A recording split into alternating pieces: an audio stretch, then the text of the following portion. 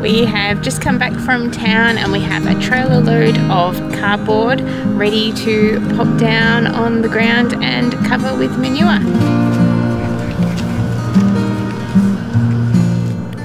So we are going to extend this vegetable garden here and put this fresh manure that we got 10 cubes of the other day on top.